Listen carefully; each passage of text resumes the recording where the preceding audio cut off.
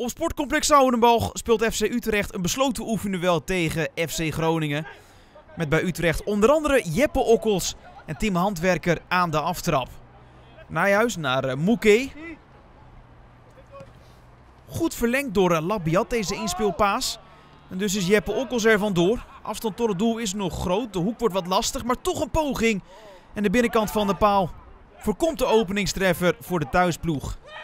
Adrian Blake dribbelt naar binnen. Aan de buitenkant ligt meer ruimte. Daar inderdaad bij Tim Handwerker. Handwerker. Schot van de vleugelverdediger wordt geblokt.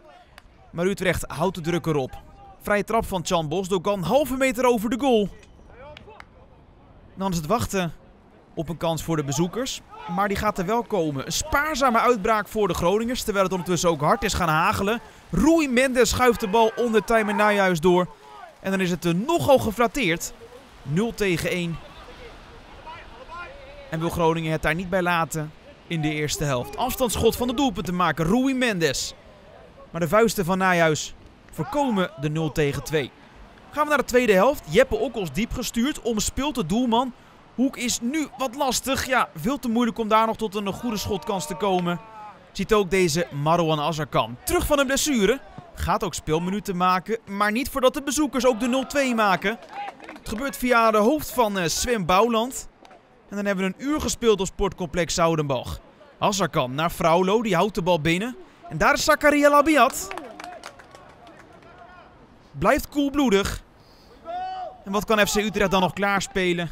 In de laatste 20 minuten van deze wedstrijd. Bleek krijgt de bal uh, weer terug. Mooie beweging van de Engelsman. Bal weer ingebracht. Via Jensen en Labiat is dit ja, toch niet echt een serieuze poging.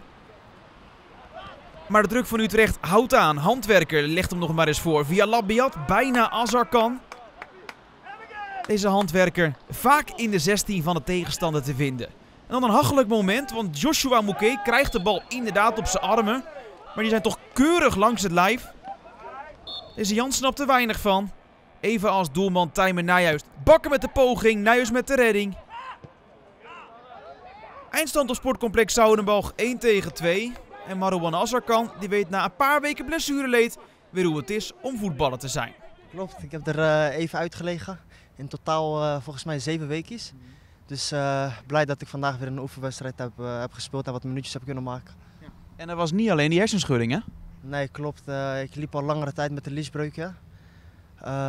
Heb ik gewoon geprobeerd om mee te spelen. Op een gegeven moment deed het te veel pijn en heb ik besloten om te opereren, een matje laten leggen en zes weken revalideren. En is gelukkig goed gekomen, weet je. Ik ben nu helemaal pijnvrij en ben snel aansluiten met de groep. In die half uurtje heb ik wel alles, alles gegeven wat ik had. ongelukkig dat we niet hebben gewonnen, maar ik ben vooral blij dat ik gewoon weer minuten heb gemaakt.